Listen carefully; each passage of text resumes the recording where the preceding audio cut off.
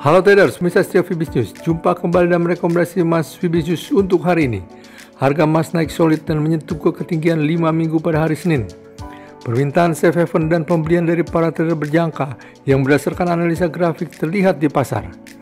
Harga emas berjangka sempat naik ke 1998 US dollar per troy ounce sebelum akhirnya terkoreksi normal ke 1984 US dollar.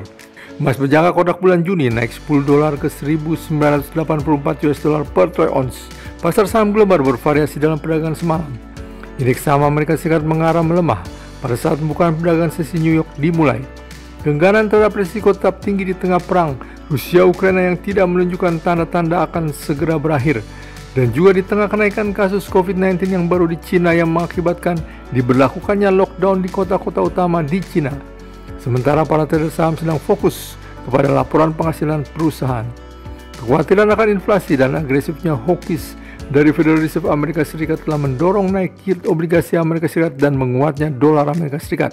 Support terdekat menunggu di 1974 US dollar yang apabila berhasil dilewati akan lanjut ke 1962 US dollar dan kemudian 1950 US dollar.